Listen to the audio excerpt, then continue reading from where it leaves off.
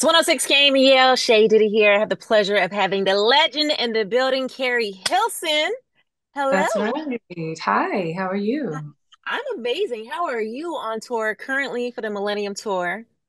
Yes. How's Oh man, uh, it's exhausting, but oh so fulfilling. So much fun.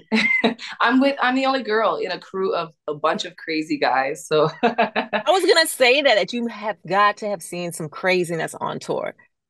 Um Like, it doesn't get to no, people really I, I really am remembering how crazy people swear our lives are. yeah, Um I've seen we've had a lot of funny moments, but for the most part, we're all there's nothing wild about it. You know what I mean? Each of us are professionals. We're here to work. We're here to do our job, and we go home and uh, right, clear the venue. Everyone swears like, "Can I get backstage access?" We're like, "For what though? It's so boring." Like everyone's in their room listening to their music to get right before their set. After their set, they're back at the hotel. No one's hanging out in the hallways. right, right. So what what made you to decide to go on tour again? Because I know you've been doing your acting thing. Like, you know, fans been asking for it for a while. So why Yeah. now? Uh, I think because we had to sit down for so long. Um, yeah. I really quarantine on, I really hadn't touched many stages. Um, there were one-off dates here and there, you know, but it, there was never any um, real prolonged opportunity to see my devout fans. Um, and so this was a great opportunity to tour the entire US um, and see them and allow them to see me and feel me again. And and that was really the line and sink, the hook, line, and sinker for me was just, oh man, my fans haven't seen me in so long, um, even longer than than most people. I've been sitting down. This is a it's a gift that gives back to me. right. Um, so yeah, yeah. So, do you think that going on tour, but what I actually meant to ask y'all is, are you planning on dropping new music? Because obviously fans want to see you, but they also want to hear new music from you as well. Right. Um, when new music is coming, I'll announce that. It won't be here, it won't be there. It will be on my own platform, my own way. Um, Got so when. I'm ready, I I will do that. We had a false start. Um, not as many as like publications and blogs. Um, hmm I've only had one false start, and then my dad passed. Oh And yeah. so yeah, so um, I'm gearing up to do, and then I, you know, obviously I've taken on a lot of films since that time. So I was gonna say you've been working in the acting scene. I yeah. saw you starring in your own movie. Go ahead, girl. Yes. I mean, that's been a blessing because honestly, it allowed me to pause time and, and grieve in my own way. Yeah, Um, films have so much so much structure to them um, that it's not as chaotic as the music world. Um, you literally know where you're going to be for 12 to 16 hours every day. Um, and uh, and you get to pause your world and live in an alternate universe for a couple months. And so that was such a welcome uh, a welcome change for me. But yeah, I, I literally went even before this tour. I wrapped tour. I mean, I wrapped a film, and we hmm started rehearsals literally the day after I wrapped a film in Houston. So yeah, it's been one of those years. It's been a couple of those years.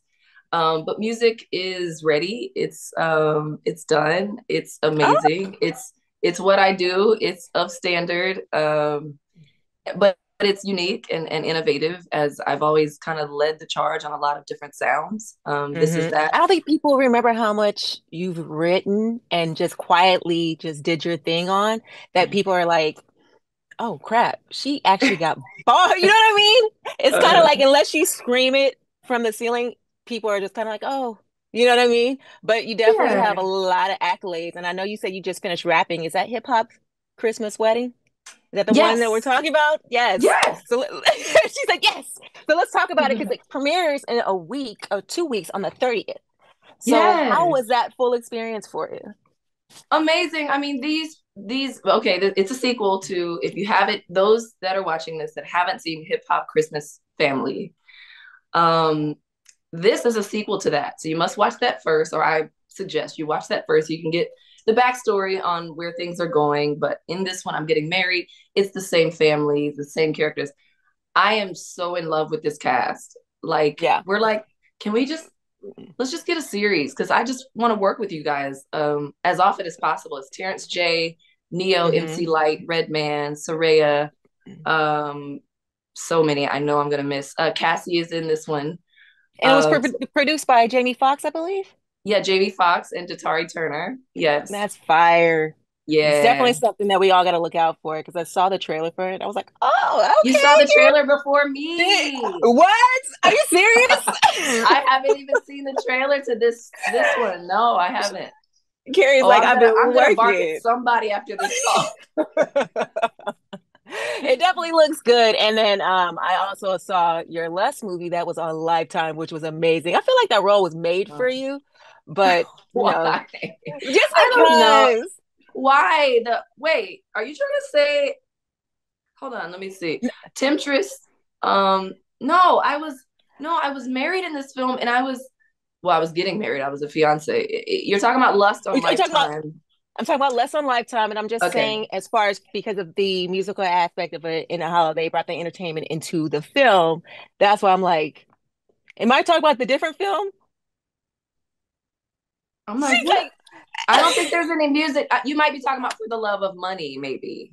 Oh, I, For the listen, Love of Money, that was out in theaters and now it's on, I want to say Netflix or one of these streaming sites. You might be talking about that because I was a singer also in that.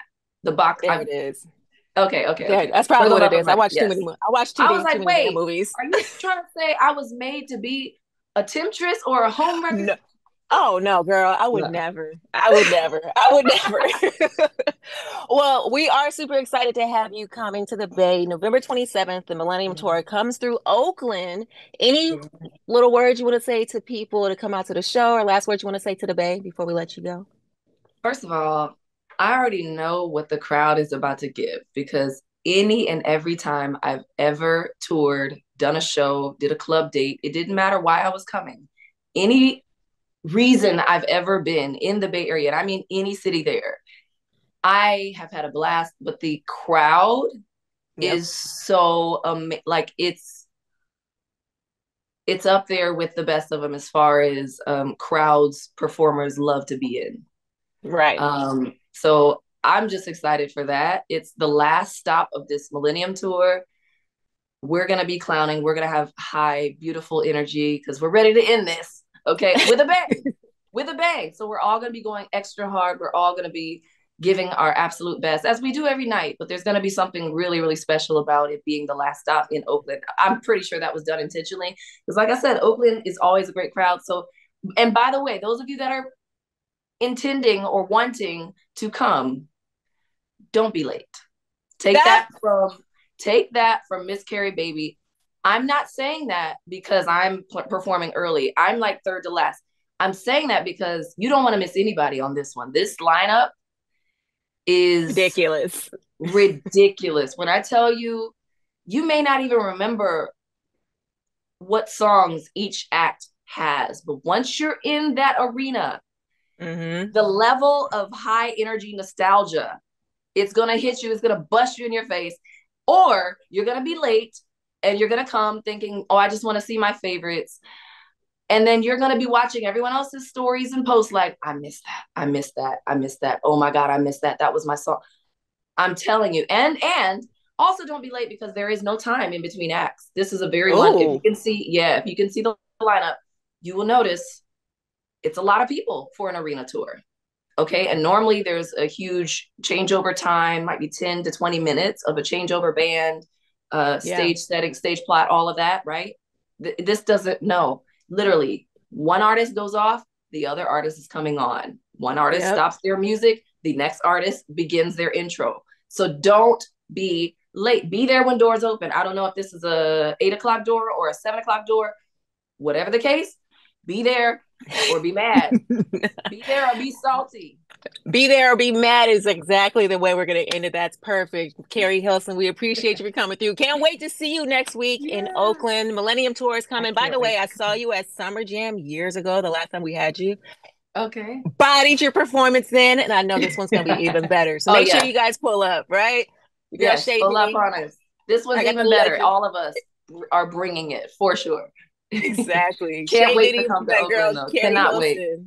Appreciate you for sliding through. Thank you. Thank you for having me. Miss Cappy, baby.